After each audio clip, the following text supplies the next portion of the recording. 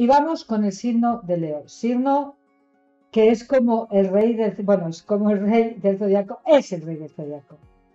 Bueno, aquí parece que toma mucha intensidad todo lo relacionado con los sentimientos. Aquí tienes cartas muy, muy sentimentales y muy eh, de amor, ¿eh? por decirlo de alguna manera.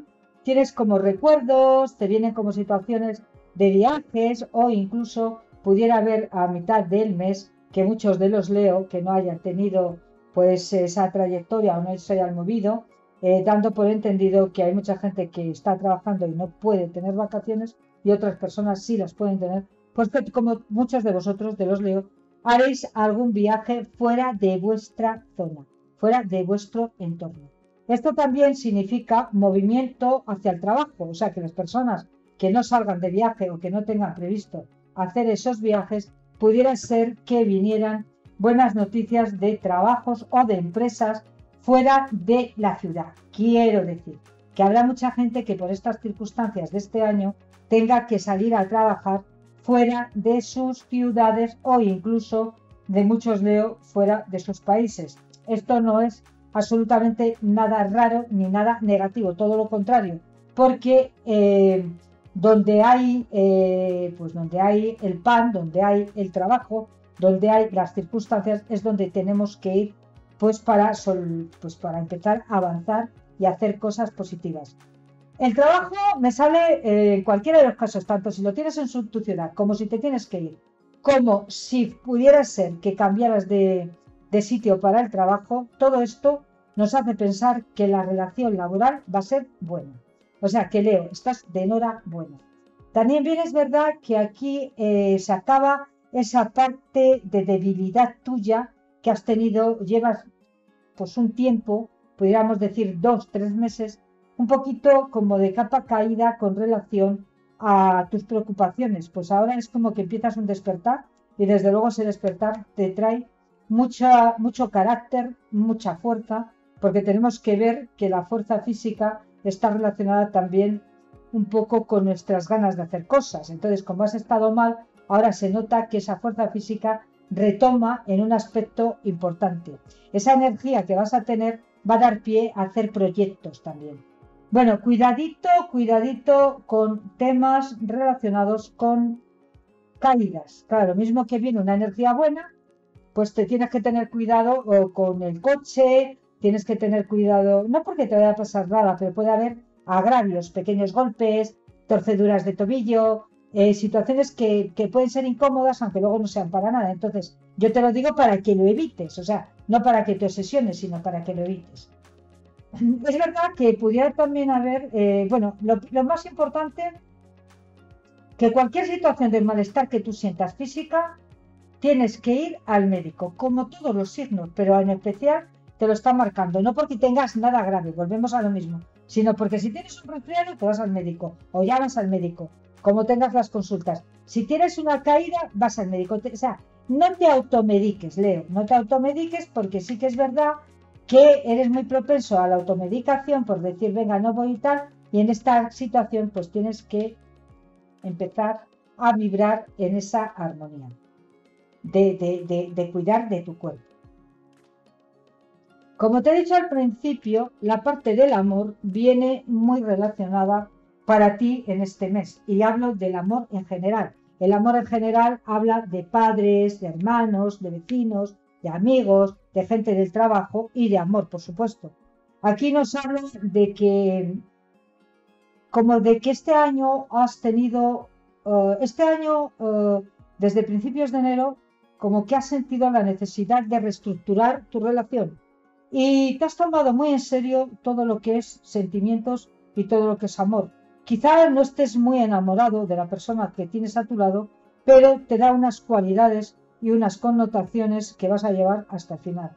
Esto significaría que aunque a veces te has sentido sola o solo, pues que ahora es como que estás viendo la parte positiva. Vamos a ver, esto no significa que te tengas que quedar con esta persona, sino que vas a valorar, vas a poner en equilibrio. ¿Qué pesa más? la atracción física, el deseo o la situación que mantengo de estabilidad, de cariño, de amistad y de armonía.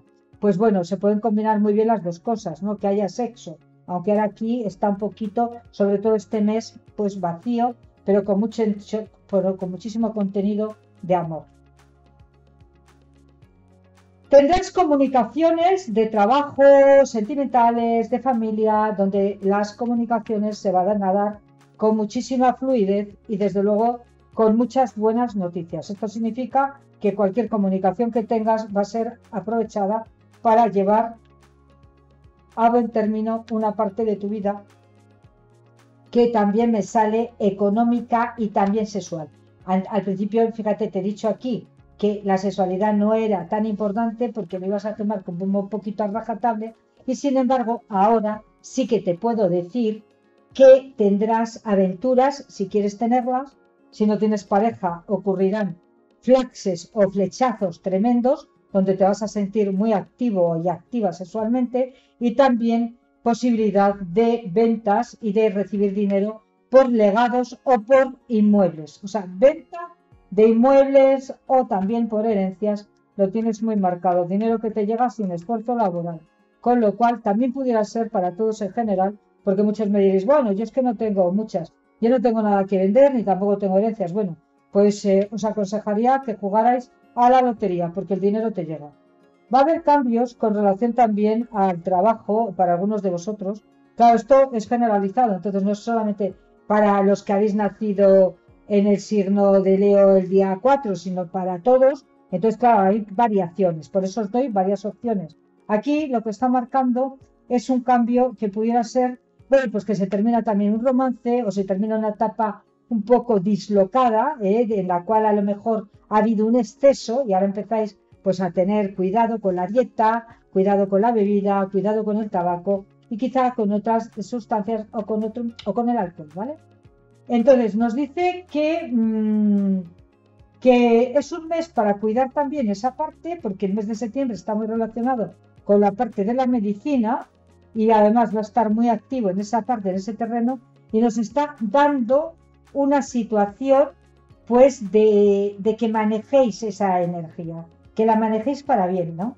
Eh, hay mucha madurez en las rupturas o en los cortes, o quizá también en las situaciones donde ya no quiero llevar este tipo de vida y quiero llevar otra, madurez significa que lo que las decisiones que toméis en este momento van a durar para mucho tiempo, ¿vale? Para mucho tiempo. Se pueden renovar ciertas amistades o conocer personas nuevas que eh, en principio alguna de ellas, en este caso, si fuerais mujeres y estuvierais eh, solteras o buscando a alguien, pues como que yo os diría que no os dejéis guiar por las primeras impresiones, ¿vale? Sino que eh, tratéis de conocer más a la persona porque al principio pudiera parecer ese príncipe azul que luego no, está, es tan azul, aunque aquí se ve azul, y se convierte en un saco verde. Entonces, que miremos bien con quién nos mezclamos o con quién te mezclas, el Leo, para saber perfectamente si es o no es. Pero si tú sentimentalmente no te involucraras, vive la relación como te dé la gana porque te lo vas a pasar divinamente. O sea, aunque luego se rompa, aunque luego no esté, vas a tener una gran, energía sexual, un gran atractivo, un gran... Bueno, pues muchas cosas que van a, pues a beneficiarte y no tienes por qué dejarlas atrás. Aunque también te digo que es un mes como muy amoroso, ¿vale? Muy amoroso. Entonces pudiera ser que en cualquiera de las circunstancias, si no tienes pareja, encontraras una pareja que fuera definitiva, pero viendo muy bien con quién te relacionas, y también pudiera ser que en tu relación matrimonial hubiera que tomar decisiones para mejorar la relación. También eh, pudieras eh, ver eh, o conocer gente nueva y gente del pasado que hace tiempo que no ves. En relación a la economía, pues como te he dicho antes, si tienes eh, ventas o tienes negocios o tienes situaciones de, de tener alguna herencia, pues te van a beneficiar. En cualquiera de los casos, si no tienes nada de esto, pues te diría que jugaras a la lotería o a cualquier juego de azar, porque pudiera ser que a partir del el 15 bueno, vamos a dejarlo en el 12, perdón, el 12, del 12 en adelante pudieras tener algún golpe de suerte. Los golpes de suerte no significa que sean de millonadas, que pudieran serlo, yo qué sé, puede ser de algo que te saque de un apuro eventualmente, ojalá te toque y te toque lo más posible. Pero si no es así, pues eh, confórmate con lo que hay y, bienvenido sea. Y bueno, con este pronóstico nos vamos eh, al siguiente signo y si te ha gustado este vídeo lo puedes compartir en tus redes sociales.